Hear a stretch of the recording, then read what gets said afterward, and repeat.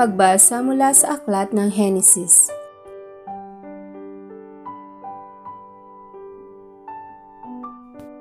Tinawag ng Panginoong Yahweh ang lalaki at tinanong, Saan ka naroon? Natakot po ako nang marinig kong kayo'y nasa halamanan. Nagtago po ako sapagkat ako'y hubad, sagot ng lalaki. Nagtanong muli ang Diyos, Sinong may sabi sa iyong hubad ka? Bakit? Kumain ka ba ng bungang ipinagbabawal ko? Kasi pinakain po ako ng babaeng ibinigay ninyo sa akin, tugon ng lalaki. Bakit mo ginawa ang bagay na iyon? Tanong ng Panginoong Yahweh sa babae. Mangyari po'y nilinlang ako ng ahas, kaya ako'y natuksong kumain. Sagot naman ito. At sinabi ng Panginoong Yahweh sa ahas, Sa iyong ginaway, may parusang dapat na ikaw lang sa lahat ng hayop ang magdaranas Mula ngayon, ikaw ay gagapang at ang pagkain mo'y alikabok lamang. Kayo ng babae aking pag-aawayin, binhimo't binhi niya'y lagi kong paglalabanin. Ang binhi niya ang dudurog sa iyong ulo at sa sakong niya'y ikaw ang tutuklaw. Sa babae na may ito ang sinabi, Sa pagbubuntis mo'y hirap ang daranasin, at sa panganganak sakit ay titiisin. Ang asawang lalaki iyong nanasain, pasasakop ka sa kanya't siya mong susundin. Ito naman ang sinabi ng Diyos kay Adan. Dahil nakinig ka sa iyong asawa, nang iyong kainin ang ipinagbawal kong bunga, dahil dito'y sinusumpa ko ang lupa, sa hirap ng pagbubungkal pagkain mo'y magmumula. Mga damo at tinik ang iyong aanihin. Halaman sa gubat ang iyong kakainin. Sa pagod at pawis pagkain mo'y manggagaling. Maghihirap ka hanggang sa malibing.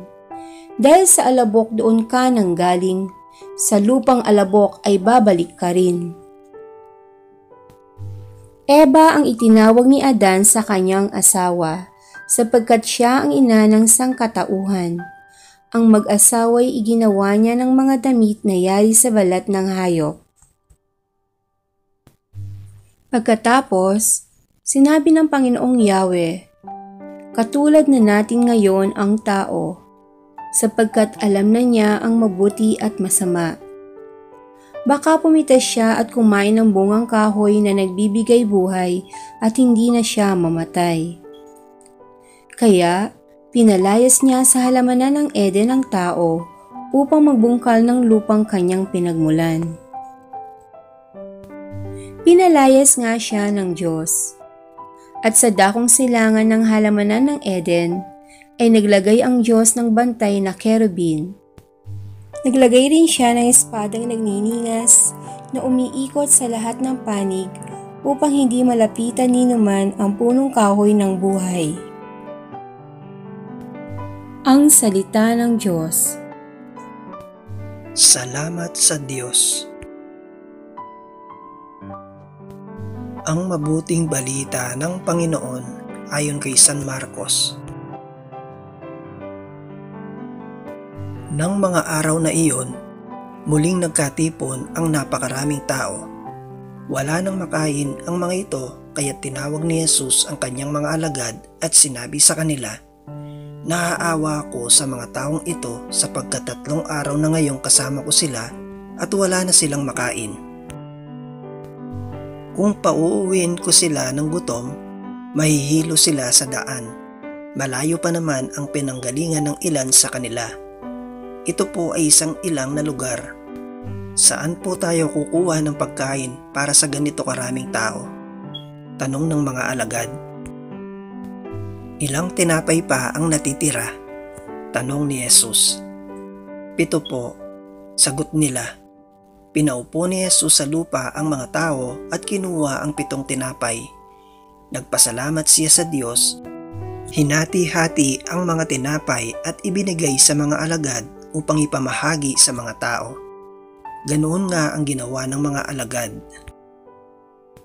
Mayroon din silang ilang maliliit na isda Muli siyang nagpasalamat sa Diyos at pagkatapos ay iniutos niyang ipamahagi din iyon sa mga tao. Kumain ng lahat at nabusog.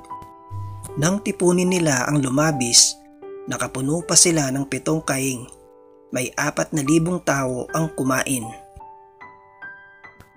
Matapos pauwiin ang mga tao, sumakay si Jesus sa bangka kasama ang kanyang mga alagad at nagtungo sila sa lupain ng Dalmanuta. Ang mabuting balita ng Panginoon. Pinupuri ka namin, Panginoong Heso Kristo